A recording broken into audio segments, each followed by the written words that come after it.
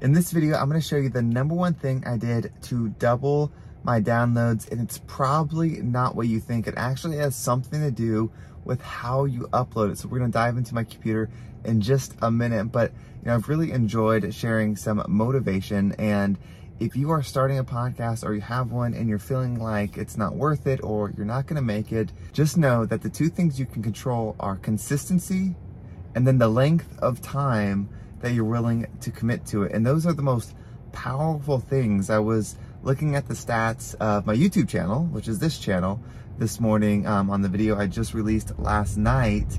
And, uh, you know, it had like 30 watches. It's amazing getting 30 people to watch something and there was a comment. And it immediately brought me back to, you know, about two years ago when the podcast that I was doing was new and I had this, um, you know, I made $10 that week from the podcast. And I remember telling somebody, I was riding in the car with somebody, like, you know, how excited I was because that $10 was going to pay for like a lunch. And uh, that was like the most amazing feeling. Now the podcast is growing. You know, if you watch the previous video, you know that it almost made $900 last week. And so that was $10 in a week before. But I just enjoyed that process so much. And it was the same feeling that I had just now when I was looking at the stats. Now I don't make any money from this YouTube channel um, yet. Um, hopefully one day I will. But, uh, you know, it's the same amount of downloads or at least that early stage. And you have to find a way to love the process. If you can't, you probably won't make it because the process is long, the process is hard, the process, um, you know, isn't exciting in a sense of like, you know, that's not what people get excited about. People get excited about the money. You know, if I made a video about, you know, strictly the process and put that in a thumbnail, I don't know how many people would watch it, but if I make a thumbnail that says, you know, how to make $20,000 uh, a year podcast or something like that, a lot of people are going to watch it because they focus on the results. And the result is good. I recommend, you know, chasing the results and using that as something that inspires you. But uh, if you can't love the process, you're probably not going to achieve the result or it's not going to feel good when you do it. Because I can tell you this, early on when I first started, you know, making that $10 or something, I still had this feeling of wanting more.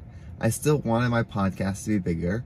I still, you know, couldn't wait for that day, and I still had that longing for tomorrow, you know, per se, um, in my system.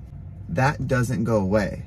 So if you are only going to feel good when you achieve the result, the result or that carrot will always move because the result you have today is not going to be as satisfying as the one that you have in your mind for tomorrow and the next day and the next day. And so if your only satisfaction or your only acknowledgement of self-worth is on the result, that could be really disappointing. And I think a lot of people don't go and complete their dreams or achieve the things that they set out to do because one, the result isn't what we think it is, you know, when we get it, and it doesn't last forever. It's just a moment. So even today, being 70,000 downloads a week, which is a lot, you know, I'm so thankful for it. I still have that same feeling of, well, I can't wait till I get to half a million downloads a week and then I'll be happy. And then I'll get a million downloads a week and then I'll be happy. And that'll be, that'll be the moment when I make it. But I know that it'll feel the same. When I get to half a million downloads, I'll still feel the same because then I'll be looking to a million. When I get to a million, then I'll be looking to two million. And so it'll never stop as far as like this chase of the external goal. That's why it's so important to love the moment. And making this video, I was so excited because you know, I know like 30 people watched my last one already and somebody commented. Like, that's awesome. Like, you spend a little time on something, you put your mind into it, you put your energy into it, and then 10, 20, or 30 people watch it. Even if one person watches it, like that's pretty cool. Now, obviously, we desire the big things and we want to be famous and YouTube famous and make all the money. Of course, we do. But uh, if we can be thankful for the one, when you get the thousand or the 10,000 or the million, you'll truly feel the gratitude of the connection of the people and not just the result. So with that, let's go and dive into my computer. I'm gonna show you the number one thing that I did that doubled my downloads.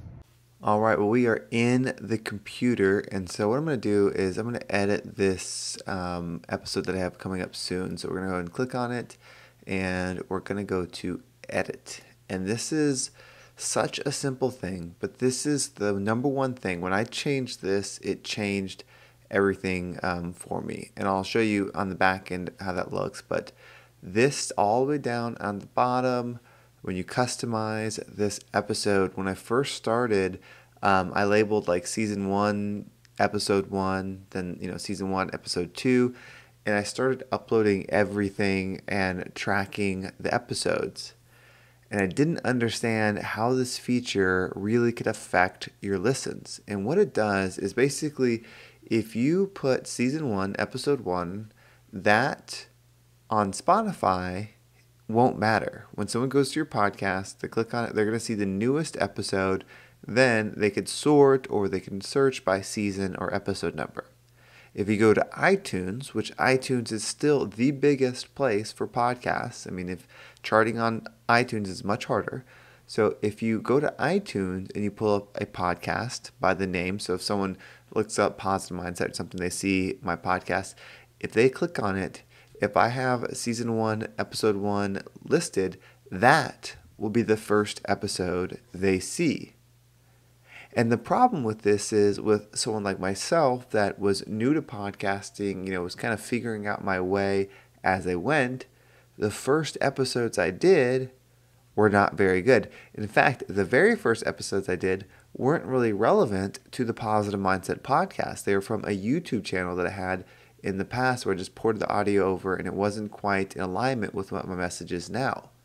So, pretty much what the person would listen to when they clicked on your podcast or my podcast was the worst episode that I had. Because I have gotten better as I've made more episodes. And likewise for you, the more episodes that you make, the better you will get. And so that's why for me, it really helped when I stopped putting everything here. I went back and deleted it from every single episode. And now on iTunes, when you click on the podcast, the newest episode is what pops up. And so let me show you why that matters. So if we go over here to the dashboard, and then we go down to where it loads here, audience. This is going to break down demographics for the audience. And this is really important. Uh, you should know this info just for, you know, knowledge if you're work for advertisers, but also it's good to know who's talking or who's listening to you. So this is a breakdown geographically of where stuff is. You can actually go even closer. So like you click on the United States and it'll break it down um, by state. So California, no, no surprise. I mean, that's a very populated area. So I'd imagine I get a lot of downloads there. But you can see, you know, all the places that people um, listen, which is kind of cool. This next part breaks down where the listeners are from. So you can see in the past 30 days, Apple Podcast is actually number one. Now, as I'm recording this, there's currently an issue with Spotify and it's not tracking downloads. So that's hurting these numbers quite a bit because it's looking like I'm not getting any downloads from Spotify for the past few days. And that's thousands of downloads that it's not counting. So these are probably pretty close to 50 50. But either way, Apple is growing consistently, and Apple came from behind and has now passed. But if you change this, this is where you can see. So let's choose a date range. And so we'll look back in a year ago from now. So if we go back to October, uh, we're in September. So we'll go back here and click there. So this is for the month of September. 75% of my downloads came from Spotify. So it did take a while for Apple to start promoting my podcast because I did that so long ago. In fact, if you go back to when I had it not changed, we go back to 2020, you know, because it was a few months before I discovered it. So August, I really kicked off the podcast. We'll just give it October. So that way there's been a few downloads. So this is really three months in. 76% coming from Spotify. So that was a major, major player in my growth. And it wasn't until I switched that that it changed. I believe that I would have more downloads now if I had done this from the get go. So hopefully that was helpful. Hopefully that will get you fired up in a way that you can change your podcast and you can analyze some things and make it for the better so that your message can spread. If you enjoyed this video and you want more, please subscribe, like, drop a comment if there's something that you would like me to touch on as you continue to build whatever it is that your dream is. Well, thank you so much for watching. Have a great day, and I'll catch you in the next one.